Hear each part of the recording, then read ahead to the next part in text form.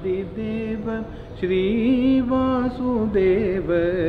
कववय्यनन्नु करुणालवाल ದೇವಾದಿದೇವ ಈ ವೇಳೆನ ಈ ವೇಳೆನ ಅರು ಚತುಲನು ಈ ವೇಳೆನ ಅರು పరాత్రోలి నిజప్న చేసి నీవే పరాత్రోలి నిజప్న చేసి దేవాది దేవ శ్రీవాసుదేవ కవవయ్య నన్ను కరుణాలవాల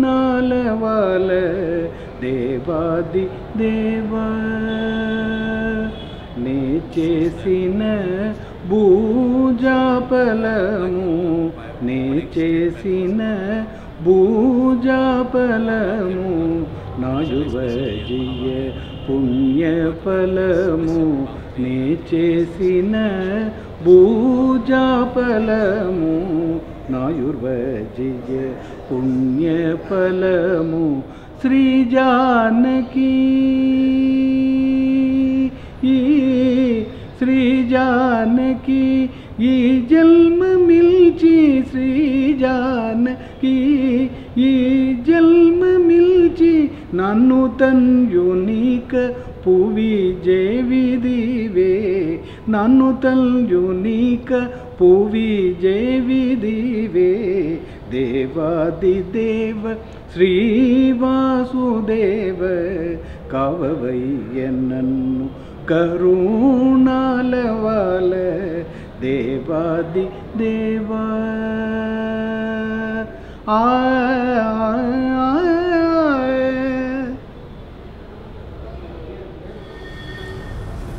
So, I'm speaking with Professor Noel Sheth, SJ, from Bombay, from Mumbai, and he is professor, I have to remind myself, of professor of Indian and Asian religions in the Department of Interreligious Studies at St. Xavier College.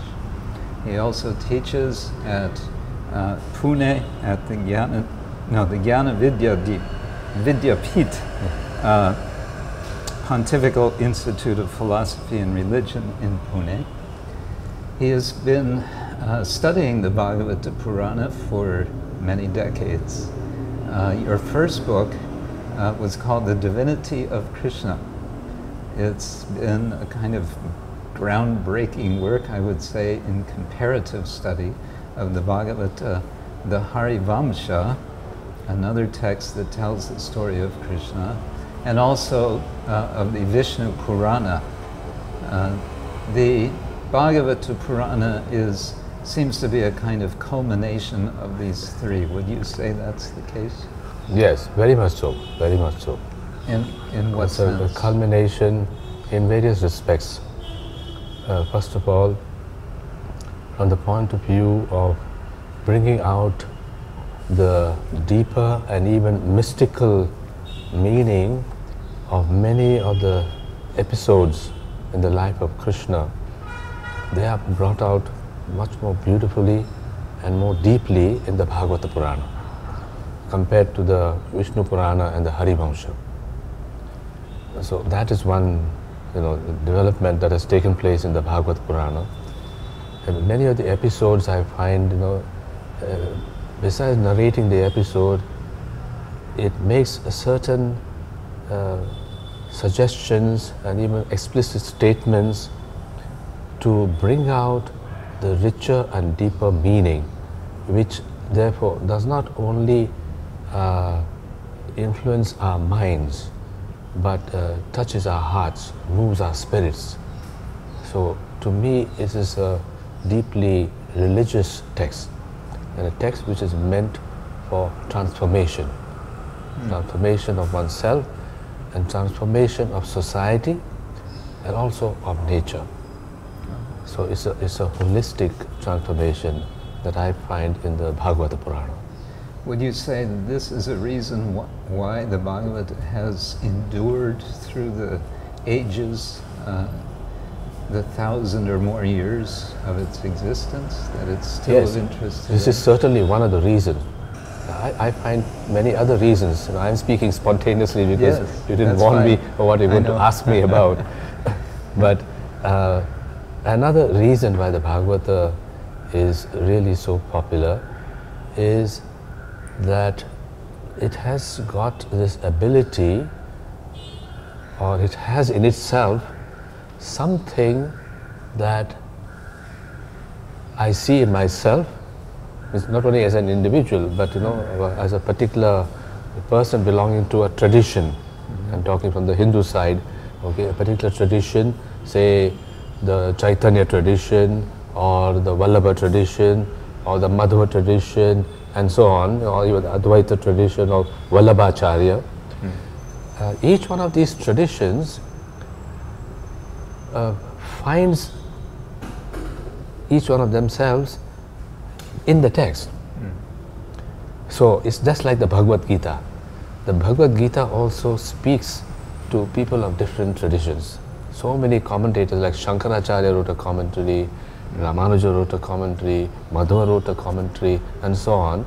And each one of them finds something there in the Bhagavad Gita which they find within their own tradition. So in that sense, it's not, you know, something that interests and makes people attracted to the Bhagavata because of only one particular stream. It has many things there together. Yes. So as a result, you know, different traditions are attracted to it. This is another reason.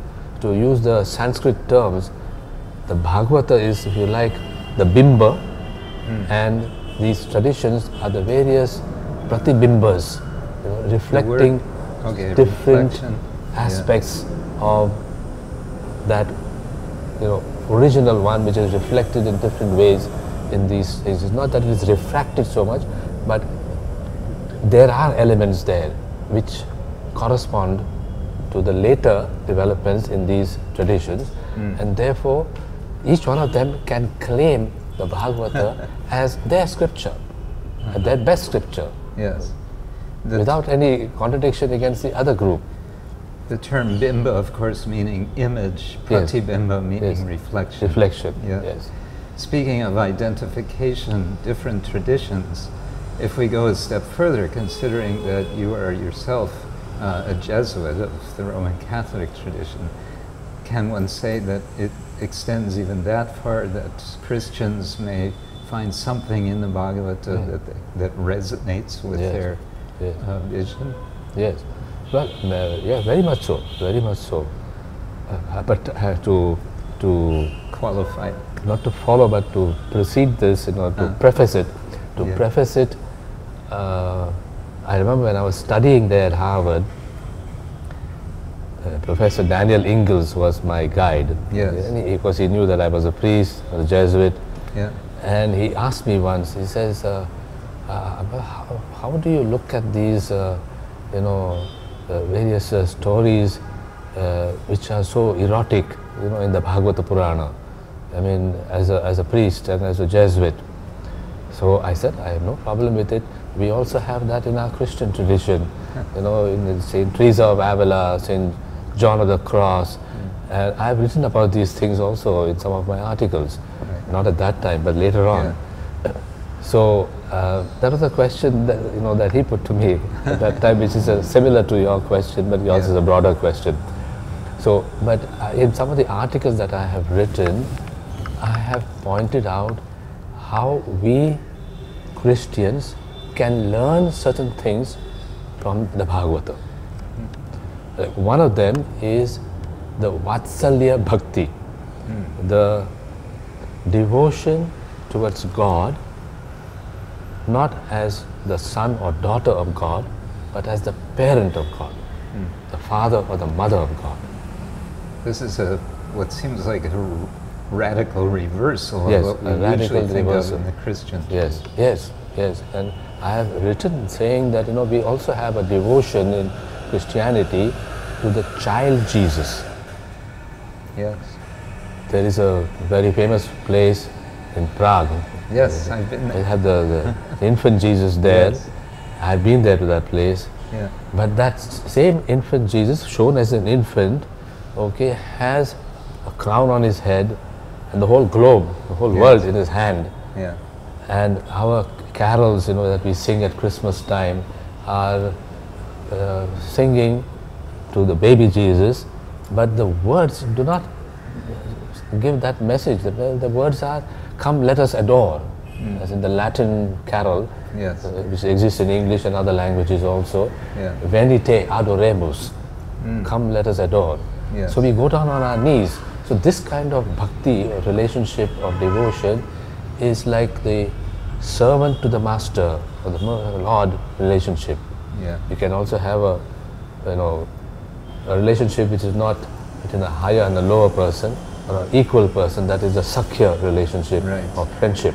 Yes. Know, people are on both levels and same. Yes.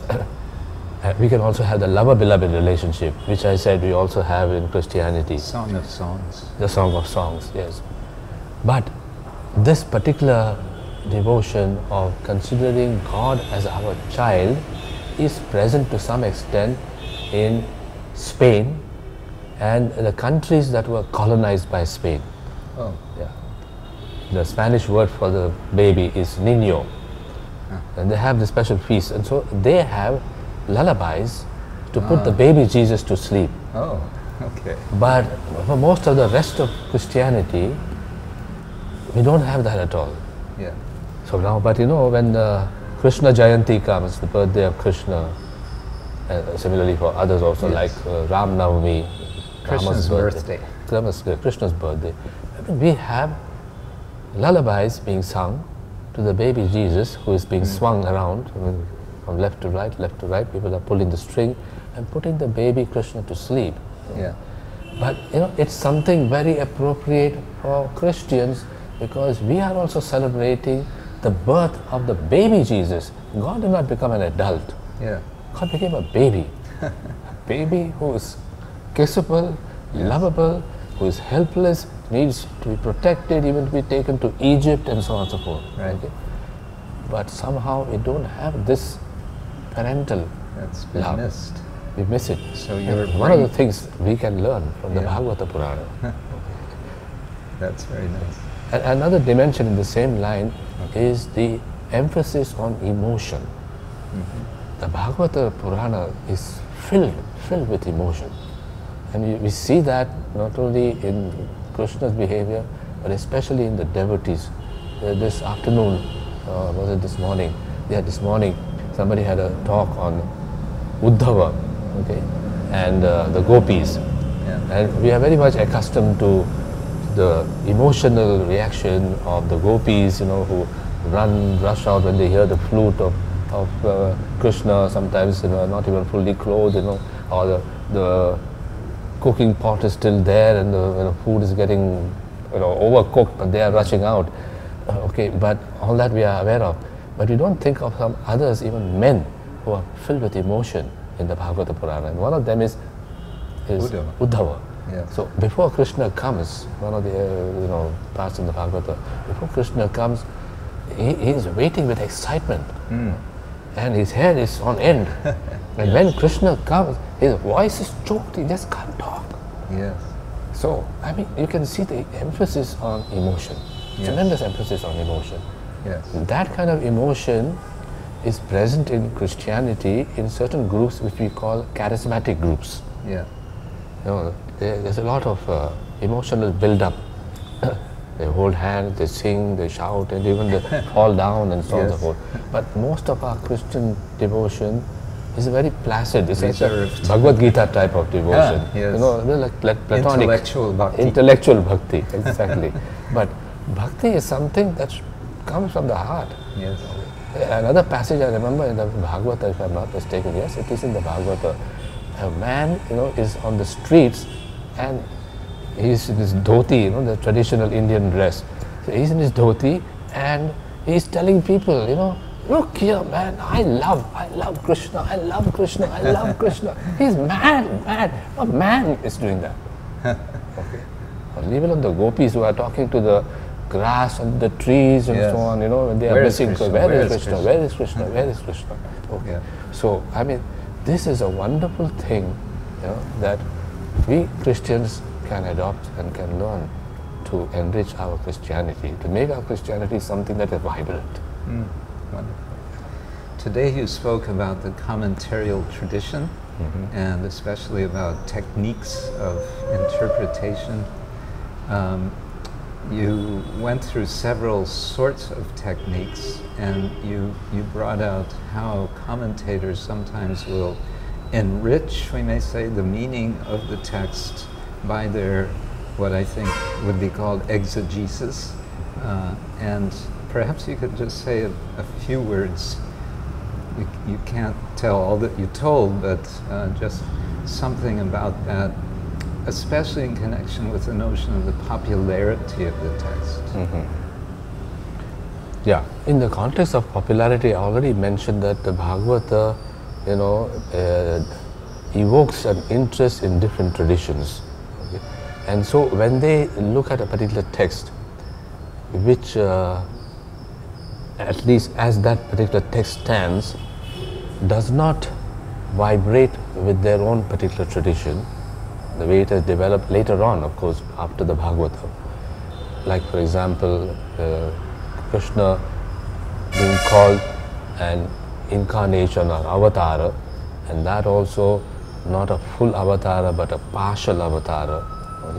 Whereas in their understanding, especially in those who are believing in Krishna as the supreme being, for them the Krishna is not, not even an avatar, Yeah. but is God Avatari. himself, an avatarin, yes, Yeah. from whom the other avatars emerge or Yeah. evolve or come out. So uh, they have another text which I also referred to, that Krishnas tu Bhagavan Swayam. Yes. Okay, so they catch on to that, but they have to also explain these other texts. Yes. Okay, and uh, how to make sense out of it. Yeah. Okay, of course, it is a later development in their tradition. Uh, in other words, it means that no, there is a development in the religion, uh, even scripturally. This is what I've shown in my book on Krishna, that this development theologically Yeah. of our understanding of Krishna. It does not mean, you know, this has been projected into Krishna, but it Right. means how people began to understand Krishna More deeply. more deeply and more, you know, uh, eloquently and more sort of uh, eminently, put it that way, Yeah. okay, uh, than they understood in the earlier texts. Right. So from that point of view, uh, I don't mean therefore, you know, that they were concocting things. I mean that they are discovering things. Yeah. Okay, but in that discovery, okay, there is an enrichment that takes place. Yeah. So within that context, they use their grammatical and other skills, Yes. okay, to construe, to connect one word, not with the word which one would normally think of connecting it, Yeah. but with something else also there in that text, okay, Yes. and and bring out a, a completely different meaning, where you see that Krishna is not not a part or not an you know an avatar. And the nature of Sanskrit is such that it facilitates It that. facilitates that. It facilitates that. Yeah. It facilitates. Of course, there are other techniques where they add something else and so on. Interpret a particular, say, an ablative, as I pointed out, as an instrumental case, and so on. So, but as I was telling somebody after the, our session, I do believe that they are doing it not only for the sake of justifying their own tradition, which is a good cause, but some of the gym, gymnastics that they do, Hmm. uh, when I write up the paper, I will to have time more to bring Yeah. out that much more. Yes. I didn't have the time because I had to jump to other ones. Yeah. But the way they do it, I feel that they take joy in being able to do that. Yes, it's a kind So of it's- acrobatics. Yeah, exactly, exactly. So, I mean, it's not just from the perspective of, of uh, you know, explaining away the text so that it does not, you know, to, it doesn't appear to be against what they are holding. Yeah. That is one of the things, of course.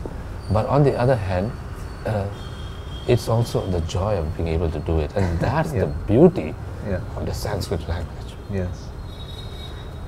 You've mentioned two or three times the word avatara, Mhm. and it occurs to me that sometimes we translate that word, or we mistranslate it, depending how you see, as incarnation. Mhm.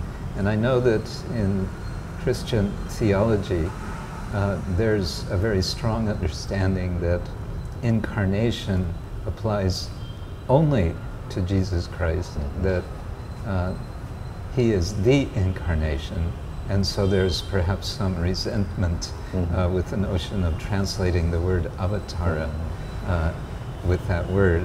And I think it was, what was his name, Parrinder? Forget. Uh, someone wrote an entire book on this subject, Avatar and Incarnation, a few decades ago. Do you have any thoughts on this? Yeah, well, I have written a long article on this. Oh, okay. and this is one of my one of my very good articles, which has been printed originally in the United States, in the what is it called, uh, uh, Philosophy East and West. oh, So a journal of comparative philosophy. Yeah. So it came out first there, but it has been reprinted in many European languages. Oh. and also reprinted in India and other places well, that's in English. sign of a successful Yeah. article. Yes, yes, very much so, very much so. So, I mean, I can Go on and on. on and on on this particular topic, but to say a few things in this particular context, first of all, there are a lot of similarities between the idea of what is called avatara and uh, the incarnation, where you know there is an emphasis being given to not something that is far away, transcendent, but something that is, you know, has descended. That's a little etymologically the, the meaning of the word avatara, has descended Yeah. Come down to our level and therefore evokes a, you know, a relationship that is uh, more intimate than with something who is uh, far away. Mm. Something like, you know, in the Trinitarian understanding of the Christian tradition, there is the first person of the Trinity, God the Father, who is the distant God, because God the Father does not become incarnate. Is the second person who becomes incarnate Right. as Jesus Christ. Yeah. And so the Holy Spirit does not become incarnate. Mm. So when Christians pray, they pray of course to the Father, Son and Holy Spirit, but most of the time they are praying to Jesus Christ Mm. because the second person became incarnate and Yeah. we feel more at home with him, Yes. the one of us. Mm. So that also is there in the avatar understanding. And then, of course, there's a- sense of value is given to the world because God becomes incarnate in the world. So these are just a few examples of similarities. Okay, but then there are also differences on account of which we can learn from one another. So, for example, there are many incarnations or many descents hmm. in the Hindu Vaishnavite tradition, coming again and again. That makes sense because it is a cyclic worldview. But on the other hand, in Christianity, it's a linear worldview. Everything is moving to a final goal. There is no repetition. And therefore, it makes sense to have only one incarnation. Right. Yes? But I have gone into subtleties. So I have also referred to St. Thomas Aquinas, Mm. who says, long ago now, that it is possible that God can incarnate many times. Oh, he This is very much. So, in other words, what St. Thomas Aquinas is holding on the level of possibility, Right. Hinduism or Vaishnavism is holding on the level of actuality. Yes. Okay.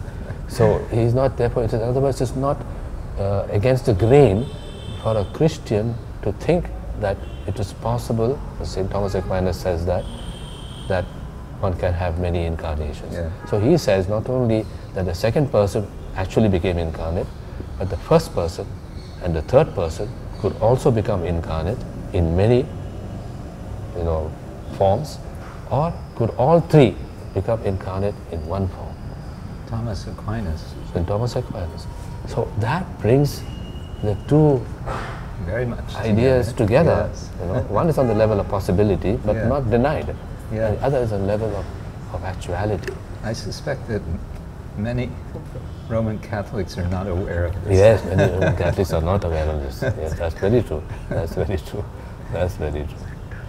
Yeah. Well, and then you know there are a lot of other things like you know in the Hindu tradition, the social uh, dimension was not given so much emphasis as in Christianity. Yeah. okay? But so the incarnation brings out that aspect as it has been developed in the theology. Yes. So the Hindus can learn from Christianity on that Yes. aspect. Okay? Hmm. But then we also can learn because in nowadays, especially in modern Christian theology, you know, we have the understanding that Jesus Christ is one person with two natures, human nature and divine nature. Yes. Okay.